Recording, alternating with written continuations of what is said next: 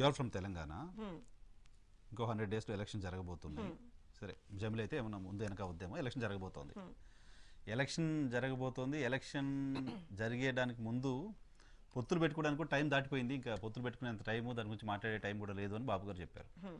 ఏంటి తెలుగుదేశం పార్టీ తెలంగాణలో ఏం చేయబోతోంది? ఎలక్షన్ ఎలక్షన్లు కంటెస్ట్ చేస్తాం. ఏం చేయబోతుంది? రాజకీయ పార్టీ అండి మాది. ఒంటరిగా ఒంటరిగానే చేస్తాం. ఏముంది అందులో? మీతో పొత్తు పెట్టుకోవడానికి ఎవరు రాలేదా? లేకపోతే మీరు పొత్తులు ఎవరు ఎవరు వద్దనుకున్నారా? ఖచ్చితంగా నూట పంతొమ్మిది స్థానాల్లో పోటీ చేయాలి అనేటువంటిది మా ఆశయం. దానికి అనుగుణంగానే మేము వెళ్తున్నాము. అండ్ ఇంకోటి ఏంటంటే ఇవాళ తెలంగాణ ప్రాంతంలో కనుక మనం ముందర చూస్తే అన్ని పార్టీస్కి అంటే సి వీ హ్యావ్ గాట్ మాకంటూ ఒక ప్రిన్సిపల్ ఉందండి. మా సిద్ధాంతం ఏంటి అంటే తెలుగుదేశం పార్టీ సిద్ధాంతం నిజంగా కూడా వీ హ్యావ్ లాంగ్ స్టాండింగ్గా మేము ప్రజల మనసుల్లో ఉండడానికి కూడా that is one of the major reason ఏంటి అని అంటే ఏ పొలిటికల్ పార్టీ మా ఆవిర్భావం కూడా ఆ- రకంగానే జరిగింది. ఏ పొలిటికల్ పార్టీ కూడా బడుగు బలహీన వర్గాలకి మహిళలకి మైనారిటీలకి ఆ ప్రాముఖ్యతని ఆ హోదాని ఇచ్చినటువంటి పార్టీగా ఏది లేదు ఎక్సెప్ట్ తెలుగుదేశం పార్టీ. సో ఇవాళ కూడా తెలంగాణ ప్రాంతంలో కనుక మనం చూస్తే ఉన్న అన్ని పార్టీలు సరే సో కాల్డ్ కొత్తగా వచ్చినటువంటి పార్టీలు ఏవి తీసుకున్నా సరే మాలాంటి పాత పార్టీలైనా సరే ఎవరైనా సరే నేషనల్ పార్టీస్తో సహా అందరికీ కూడా రాష్ట్ర అధ్యక్షులుగా అంటే tomorrow same candidates what we call them. If if they have to put it categorically the same. రాష్ట్ర అధ్యక్షులుగా అగ్రవర్ణాలకు చెందినటువంటి వాళ్ళే ఉన్నారు ఒక రకంగా. అగ్రవర్ణాలు అని నేను అనదలుచుకోను కానీ కొంచెం అర్థం కావడానికి ఆ మాట చెప్తున్నాను. బట్ ఓన్లీ తెలుగుదేశం పార్టీ నుంచి మాత్రమే ఒక బీసీని మేము మా పార్టీ అధినేతగా పెట్టుకున్నాం ఇక్కడ. ఆ రకంగానే మేము ముందర వెళ్తున్నాం.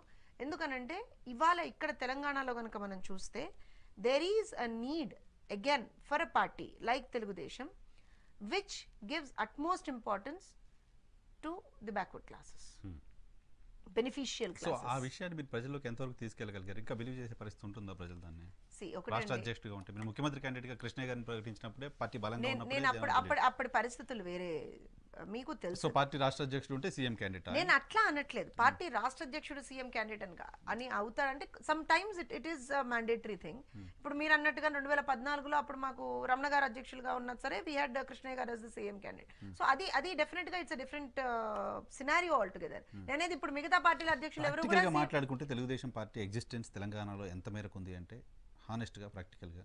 మీరు ఎవరిని పిలిచారు ఇప్పుడు? తెలంగాణకు సంబంధించినటువంటి అవునండి జాతీయ అధికార. ప్రతినిధి అయినా మీరు చాలా కేటగిరికల్గా మేడం మీరు తెలంగాణకు చెందినటువంటి వారు అని. అన్నారు. సో నేను తెలంగాణ బిడ్డగానే ఉన్నాను తెలంగాణ వ్యక్తిగానే ఉన్నాను తెలంగాణకి సంబంధించి తెలుగుదేశం పార్టీలో పనిచేస్తున్నా కదా. సో డెఫినెట్గా we are we are existent here and ఇంకొక విషయం నరసింహరావు గారు.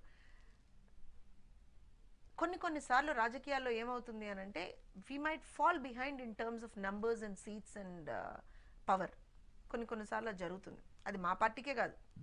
చాలా పార్టీలకు జరుగుతుంది. కానీ ప్రజలతోటి మన కనెక్షన్ అనేటువంటిది అట్లానే ఉండాలి. అది ఎక్కడ బ్రేక్ అవ్వకూడదు. ఎందుకనంటే ప్రజల కోసం పుట్టినటువంటి పార్టీగా we are we are more answerable and we are we are more responsibility towards the people rather than power elections ఓట్లు సీట్లు ఇవన్నీ తర్వాత. కానీ ప్రజల పట్ల ఒక ఆన్సరబిలిటీ ఒక జవాబుదారీతనం అంటారు చూసారా? ఆ జవాబుదారీతనాన్ని తెలుగుదేశం పార్టీ ఎక్కడా కూడా పోగొట్టుకోకూడదు. అదే మా ప్రథమ కర్తవ్యం అది. ఎందుకనంటే రెండు వేల పద్నాలుగులో మీరు కనుక చూస్తే రాష్ట్రం విభజించబడినప్పుడు తెలుగుదేశం ఈవెన్ ఉద్యమ సమయంలో కూడా మనం మీరు చూస్తే నాకు నాకు చాలా సర్ప్రైజింగ్ అనిపిస్తుంది అది. ఎందుకనంటే అన్ని పార్టీల్లో అన్ని ప్లేసెస్కి చెందినటువంటి నాయకులు ఉన్నారు. ముఖ్యంగా జాతీయ పార్టీల్లో. వాళ్ళకి ఆంధ్ర సైడ్ నాయకులు ఉంటారు తెలంగాణ సైడ్ నాయకులు ఉంటారు ఇంకా వేరే రాష్ట్రాల్లో నాయకులు ఉంటారు. వాళ్ళెవరికి అంటున్నటువంటి ఒక ఒక ఏమంటారంటే బ్లాక్ మార్క్ ఆంధ్ర పార్టీ అనేటువంటిది మాకు పెట్టేటువంటి ఒక ప్రయత్నం చేశారు. నిజంగా చేశారు. ప్రజలు దాన్ని నమ్మలేదని నేను అనుకుంటాను. నమ్మలేదు కాబట్టే ఆ తర్వాత వచ్చినటువంటి ప్రతి ఎలక్షన్లో కూడా తెలుగుదేశం పార్టీని గుర్తించారు ప్రజలు. తెలుగుదేశం పార్టీకి ఓటేశారు. వేయలేదని మనం అనలేము రెండు వేల పద్నాలుగులో వేశారు రెండు వేల పద్దెనిమిదిలో వేశారు. రేపు ఇరవై నాలుగులో కూడా వేస్తారు.